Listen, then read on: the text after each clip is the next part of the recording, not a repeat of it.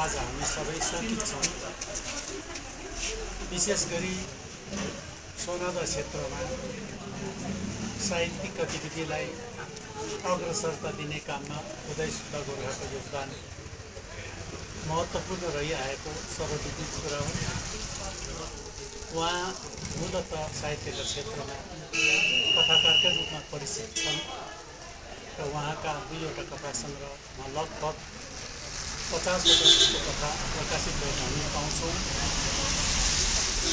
उहाँको कथा यात्रा उन्नाइस सय एकात्तरबाट सुरु भएको हामीलाई थाहा छ सबैभन्दा पहिले उहाँको कथा प्रकाशित भएको पत्रिका बिहानी हो बिहानी भन्ने पत्रिका पचेङमा रञ्जित सुब्बाको सम्पादनमा प्रकाशित भएको थियो अनि त्यसमा उहाँको एउटा कथा एउटा साँझले ल्याएको याद प्रकाशित भएको हो र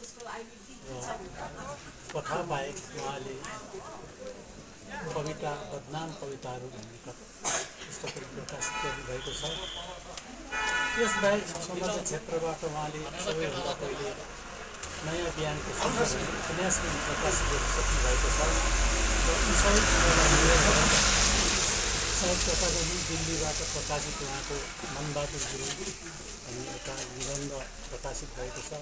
यसलाई विशेष गरी निबन्ध भन्नाले पनि जीवनी प्रधान पुस्तक र साहित्यिक भाषामा त्यसलाई विनिबन्ध भनिन्छ त्यो प्रकाशित भएको छ।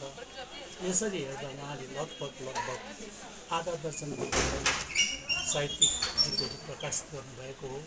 यस्ता उद्यमशील साहित्यकार गोर्खा हामी बिच रहनु भएन उहाँको जन्म उन्नाइस सय सैँतालिस सालमा जोरबङ्गलामा भएको हो। अनि उहाँको कर्म क्षेत्र शान्तिरानी बाट आरम्भ भएको उहाँ शान्तिरानी हाई स्कुलको पहिले पूर्व प्रधान अध्यापक हुनुहुन्थ्यो र उहाँ सामाजिक र सांस्कृतिक गतिविधिहरूमा पनि धेरै सक्रिय भएर रहनुभएको हो।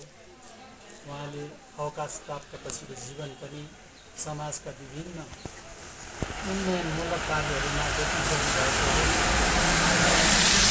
प्रत्येक शुभ कार्यमा अशुभ कार्यमा उहाँको उपस्थिति रहेको हुन्थ्यो। उहाँ धेरै साहित्यिक पुरस्कारहरूले पनि पुरस्कृत हुनुभएको हो।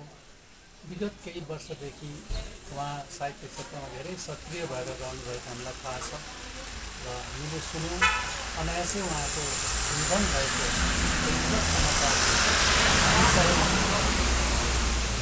सनदाको मात्र होइन सम्पूर्ण साहित्यिक संस्थालाई ठुलो क्षति भएको महसुस गर्दछु।